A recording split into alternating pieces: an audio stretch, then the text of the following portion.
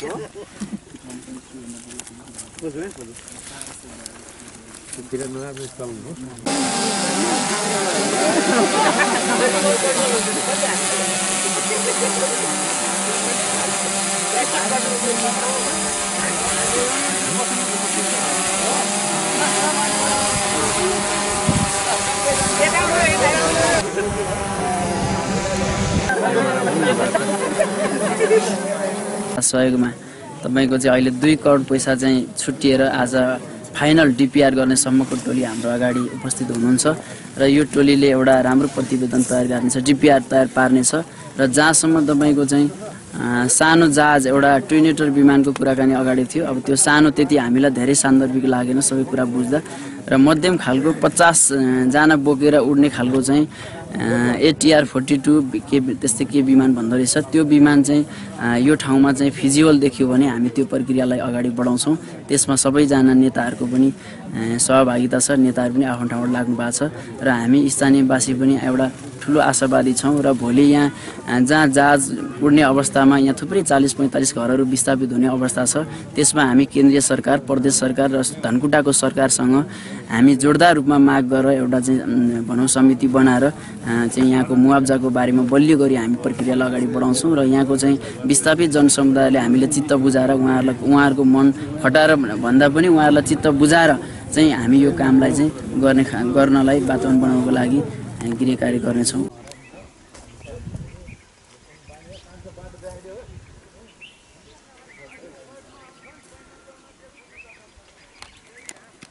जस्तो भनौँ न अघि मध्यम स्तरीय भन्नुभएको थियो त्यो चाहिँ हामीले भिडियोमा खोजेको हो कि? तपाईँकै बोलीमा।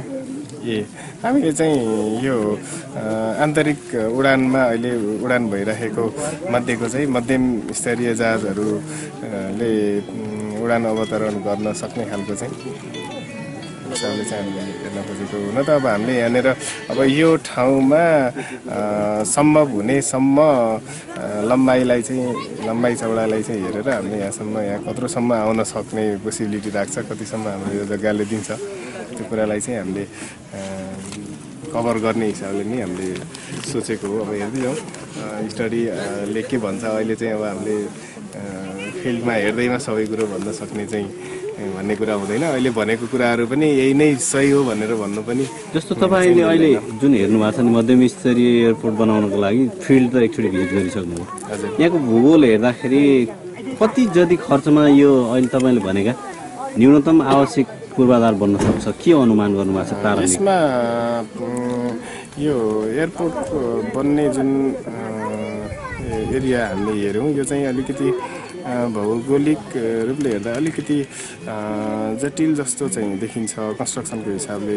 जटिल भन्नुको मतलब यो कि एउटा कन्स्ट्रक्सनको हिसाबले र अर्को चाहिँ सेफ्टीको हिसाबले पनि अलिकति हाम्रो चाहिँ टप एरिया जुन हाम्रो धावन मार्ग बन्ने छेउछाउमा डाँडो अ, को फेसहरू पर्ने डाँडोको चाहिँ छेउहरू पर्ने भएको हुनाले पनि एउटा चाहिँ भविष्यमा बनिहालेको अवस्थामा पनि केही हदसम्म चाहिँ उडान सुरक्षाको कुराहरू पनि यसमा चाहिँ हुनसक्छ र अर्को चाहिँ यसमा अब जुन यो टोपोग्राफीमा अलिकति धेरै कटिङ र फिलिङको मात्रा चाहिँ हुनसक्ने धेरै चाहिँ यो वाल पर्खालहरू स्टेबिलिटी स्ट्रक्चरहरू चाहिँ दिनु राख्नुपर्ने अवस्था चाहिँ देखिन्छ।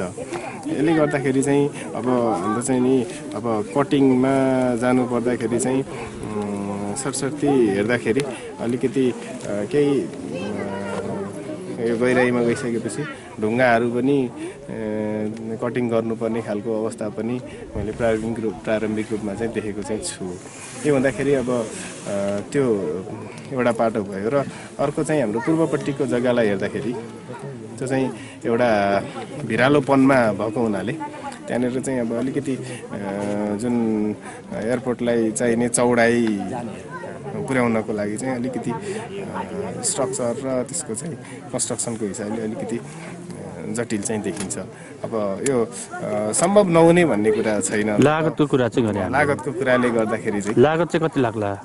यो चाहिँ अब अहिले ठ्याक्कै यति नै भन्नु चाहिँ अब हामीले सक्दैनौँ तर पनि अब अनुमानित रूपमा भन्नुपर्दाखेरि चाहिँ मेरो अहिलेसम्मको अनुभवले चाहिँ यो दुई यो निर्माण लागतको लागि चाहिँ करिब करिब दुई अर्ब भन्दा माथिको हाराहारीमा चाहिँ लाग्छ भन्ने चाहिँ मलाई लाग्छ। यो एकदम युद्ध स्तरमा काम गर्दाखेरि कति समयमा सकिएला यो अब अहिले हाम्रो वातावरणीय मूल्याङ्कन प्लस अब यो डिपिआर सबै सक्दाखेरि एक डेढ वर्षको समय यसले नै लिन्छ।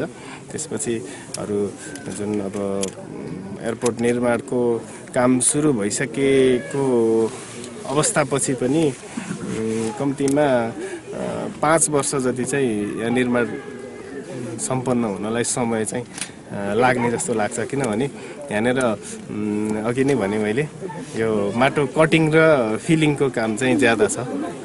यसमा कस्तो भने कटिङभन्दा फिलिङमा धेरै समय लाग्छ। त्यो पनि अब कटिङमा पनि फेरि अब सामान्य हिसाबले हामीले माटो कटिङ गरे जस्तै हामीले कटिङ गर्नु ठाउँमा सबै त्यस्तै देखियो भने त राम्रै भयो। अब ढुङ्गा पनि अब ब्रेकर लगाएर पनि नफुट्ने खालको ढुङ्गा आयो भने त्यो अझै जटिल हुन आउँछ। तपाईँहरूको यो जुन रिपोर्ट छ यो रिपोर्ट चाहिँ उड्डयन मन्त्रालयलाई कति दिनभित्रमा पेस्नुहुन्छ तपाईँहरूले दिन नभनिहाल्नु होला।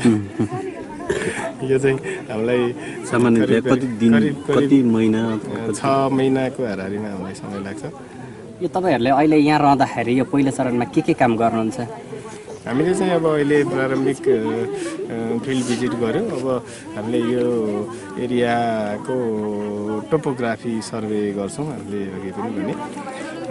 टोपोग्राफी सर्वे गरिसकेपछि यो टोपोग्राफी सर्वेको आधारमा हामीले चाहिँ फर्दर हामी office स्टडी डेस्क स्टडी गर्छौँ